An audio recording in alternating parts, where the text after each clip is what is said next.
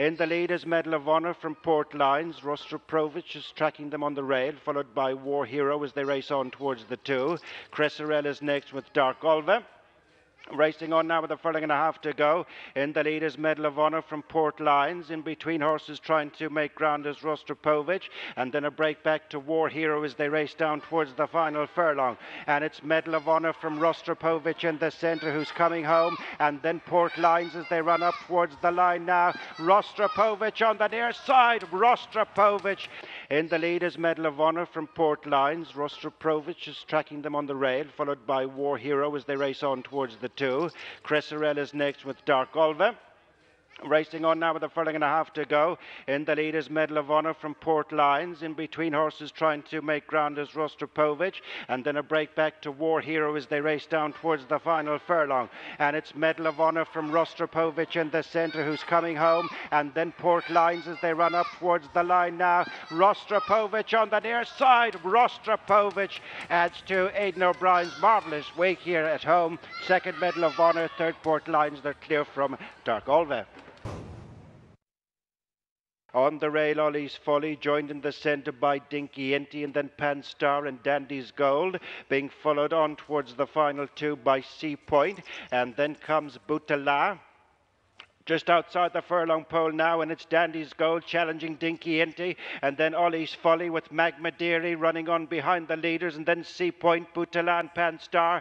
Betty Lock hasn't got into it as they're well inside the final furlong. Dandy's Gold and Magma Deary on the near side, then Dinky Inty and Ollie's Folly as they race up towards the line. Dandy's Gold on the far side from Magma Deary. On the rail, Ollie's Folly joined in the centre by Dinky Inty, and then Pan Star and Dandy's Gold, being followed on towards towards the final two by Sea Point, and then comes Boutala just outside the furlong pole now, and it's Dandy's Gold challenging Dinky Inty, and then Ollie's Folly with Magma Deary running on behind the leaders, and then Sea Point, Butalan, Pan Star.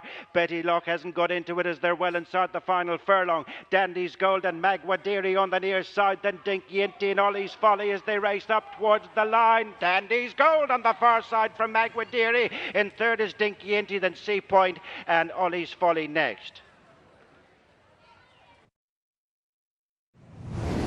Just behind them with the big white face is Secret Wizard, and then comes Northern Surprise and beginning a run in the centre is Club Wexford, and Mizaz been eased. Racing on towards the final furlong now. Not a bad old day with Club Wexford on the outside of Secret Wizard. And then comes Shepherd's Purse and Northern Surprise, but still in the lead is Not a Bad Old Day, followed by Secret Wizard. And as they run up to the finish, Not a Bad Old Day notches another win. Just behind them, with the big white face is Secret Wizard, and then comes Northern Surprise and beginning a run in the centre is Club Wexford. And Mizaz been eased.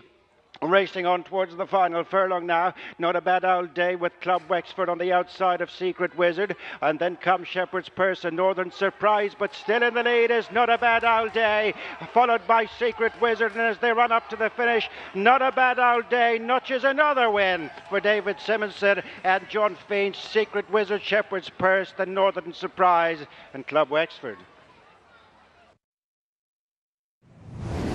And they're followed by Red Aggressor with Snap Click, turning on the tears next with Lady Ranger, and then Duck and Dive within the centre of the track, Archibald Thorburn, racing on towards the final furlong now, and Quaylaws is the leader and has kicked a few lengths clear.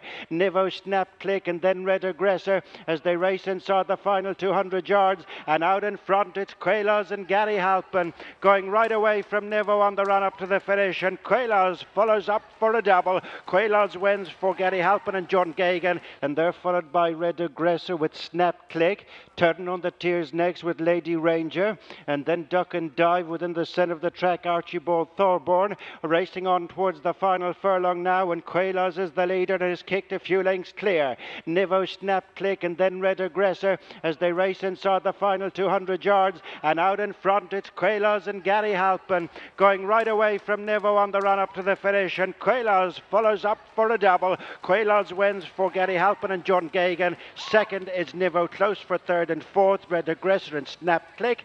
Then Lady Ranger and Duck and Dive. is Spanish Steps and Donnacha O'Brien, chased by Switch and Time and Pat Smullen. Moving into third place is Dawn Quire and Declan McDonogh. Racing on towards the final furlong, and Spanish Steps is coming right away from Dawn Quire and Switch and Time. Running on against the rail is Sovereign Hill ahead of Vienna Circle.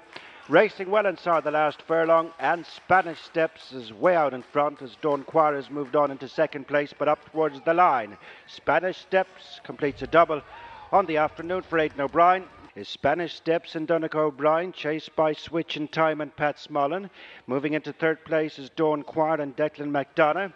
Racing on towards the final furlong, and Spanish Steps is coming right away from Dawn Quire and Switch in Time. Running on against the rail is Sovereign Hill ahead of Vienna Circle. Racing well inside the last furlong, and Spanish Steps is way out in front as Dawn Quire has moved on into second place, but up towards the line. Spanish Steps completes a double on the afternoon for Aidan O'Brien. This winner ridden by his son Donnacha. Second is Dawn Quire, then Sovereign Hill Switch in time. Vienna Circle next.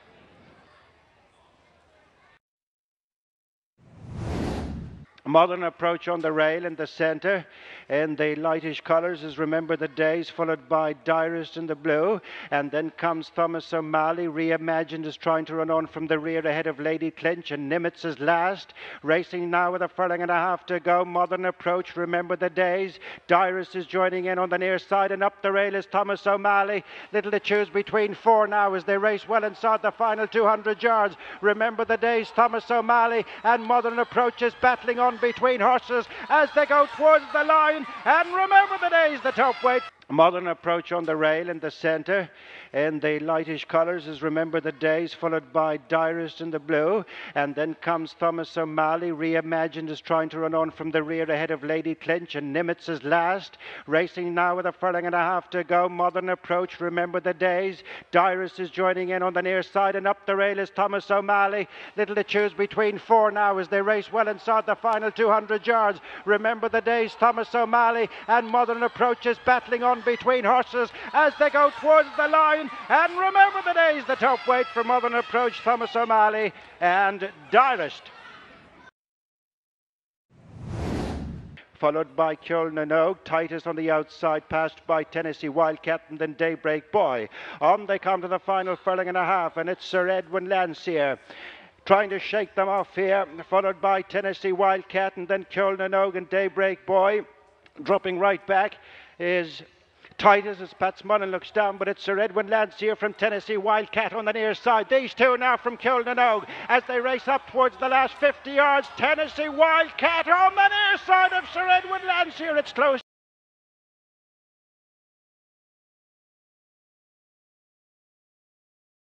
followed by Kilnanogue. Titus on the outside, passed by Tennessee Wildcat and then Daybreak Boy.